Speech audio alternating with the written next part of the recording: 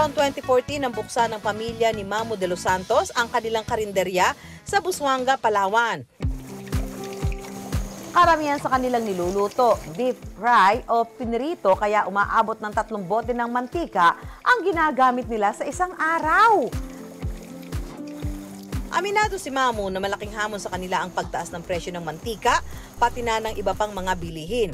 Bago magkapandemya, ang isang bote raw ng mantika sa kanilang lugar, nasa 30 pesos lang. Samantala ngayon, halos doble na ang presyo. Suma total nasa 4,500 pesos ang nagagastos nila sa mantika kada buwan. At kapag paulit-ulit ng pinaglutuan, kanila na raw itong itinatapon. Bagay na pinangihinayangan daw ni Mamu. Bigla po yung pagtaas ng mantika sa merkado. Parang linggo-linggo po siya, nagtataas siya. Three times po bago itapon yung mantika. Hindi na po tinatapon. Iniipon na lang po siya. Tapos pag medyo marami-rami na po, ginagawa ko na po siyang sabon. Hanggang sa mayroon daw kaibigan si Mamu na nagturo sa kanya ng diskarte kung paano mapakikinabangan ang gamit ng mantika. Imbis na itapon, pwede raw pala itong gawing sabon. At ang costing, o yun bang gastos sa kada piraso? May piso lang. Kuya Amik! Hi, halika, pasok. Bukod sa pinaglutuang mantika sa kanilang karinderya, humihingi rin si Mamo ng gamit na mantika sa mga restaurant. Kuya Amik, yung hinihingi ko palang mantika para gawing sabon. Ayo, sandali. Kukunin ko lang. Hirap din daw kasi ang mga ito na idispatcha at nagdudulot din daw ng polusyon. Yung mantika. Sa dalawang litro na ng mantika, 30 piraso na ng sabon ang kanyang nagagawa. Bukod sa mantika, kailangan ng tubig at sodium hydroxide na mabibili sa halagang 98 pesos kada kilo. Sapat na ito para makagawa ng 96 pieces ng sabon. Ito po yung una natin gagawin. Imimix po natin yung chemical sodium hydroxide sa tubig. Kailangan po mag-ingat sa pag halo-halo ng chemical. Masakit po kasi ito sa balat kapag natalsikan po tayo kaya kailangan po natin ng protection. Gumagamit si Mamo ng stick blender para haluin ang mga sangkap.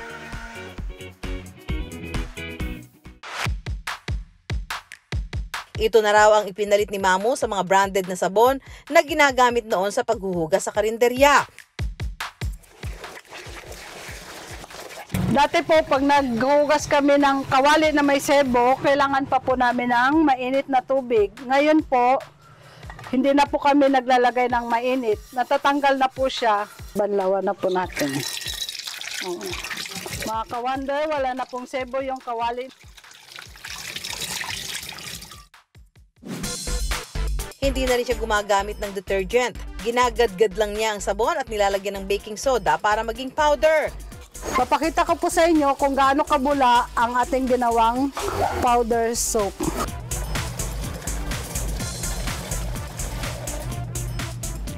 Kung minsan, ito na rin ang ginagamit niyang sabon sa kamay at katawan. Sa isang buwan, 770 pesos daw ang nagagastos ni Mamu sa sabon. At kung ibabawas ang 98 pesos sa paggawa ng DIY soap, nasa 672 pesos ang kanyang natitipid. Malaking bagay na ito, lalo na sa mahal na mga bilihin ngayon. Naisipan na rin na ibenta ang kanyang DIY soap para may dagdag na kita. Tinitinda niya ito sa halagang 10 piso kada piraso. Pero I wonder, safe naman kaya sa balat ang DIY soap ni Mamu? Pwede namang gamitin ang gamit na na mantika provided dadaan ito sa tamang pro- proseso. Pwede lang siya as all-around cleaning soap or as hand soap kasi ah, kahit papano minimal lang yung exposure sa kamay. Ang sodium hydroxide, ah, caustic nga siya. Pero once reacted na siya sa mantika, magiging safe na siya kasi within the process, totally nako-consume siya. At dahil bago sa aming pandinig ang paggamit ng used cooking oil sa paggawa ng sabon, syempre, sinubukan din namin yan. Curious lang din ako dito. Baka mali mo makatipid tayo dito, di Oo, oo. Kasi ilalagay na natin yung Sodium sodium hydroxide hydroxide sa Sa tubig. tubig. kailangan daw ito haluin ng Hanggang haluin matunaw. hanggang daw sa maging clear yung para na siyang tubig. Ito na ho, nag-clear na yung ating ginawang ah, tubig at saka sodium. Ah, Tapos lalagay na natin ngayon sa mantika natin.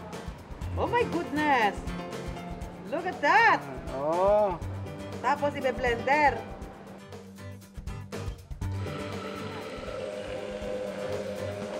Grabe. What is that?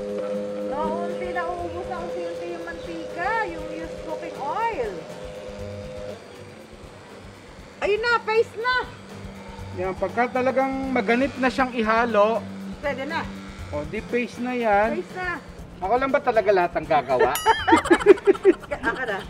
Akalaan nyo, no, yung used cooking oil, nilagyan mo lang ng mga, ng chemical, eto na yung naging itsura niya. Makalipas ang ilang oras, tumigas na ang ating mixture. Hey, oh, ito na ang final product Mga ng wonder. aming used cooking oil soap. matigas ha. Matigas, oo. Eh, so, susubukan natin kung talaga nga bang sabon. Ba, nagbubula nga. Oo, tingnan natin. Itong final product namin, wala pang 48 hours kasi kailangan nyo palipasin ng ano, Araw. dalawang araw kasi para Yung mawala yung chemical. epekto ng chemical. Ani, change oil mo na ako ha. Change oil lang ba talaga? Kung ang ibang misis nagdududa sa tuwing magpapa-change oil ng sasakyan ng kanilang mister. Hoy! Tara.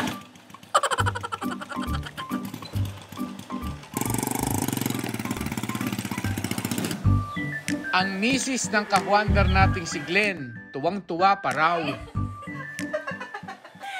Ang diskarte kasi niya, imbis itapon ng pinagpalitang langis ng sasakyan, nagagamit niya bilang fuel sa kalan.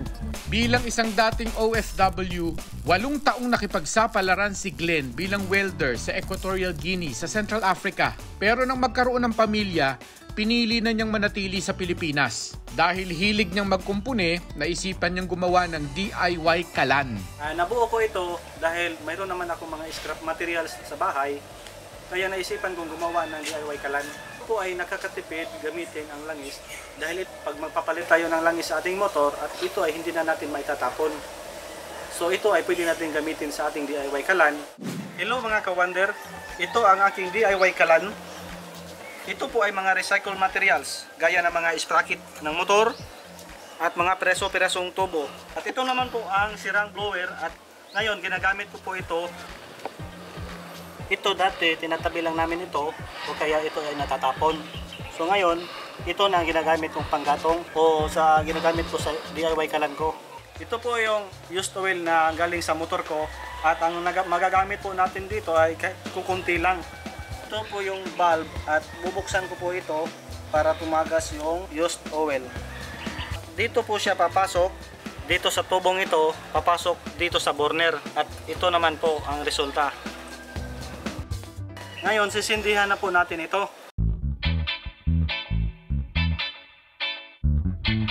Ngayon may apoy na. I-on na po natin yung blower. Lumakas po ang apoy nito dahil dito sa blower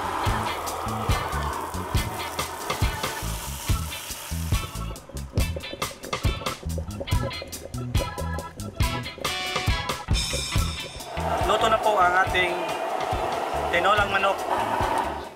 Pero paalala ha mga kahwander, mag-ingat sa paggamit ng mga DIY kalan. Siguraduhing maayos ang pagkakagawa nito at makabubuting gamitin lang sa labas ng bahay. Gusto natin yung mga ganyang innovation para makatipid. Let's be aware uh, dun sa mga harmful effects din na pwede nating makuha.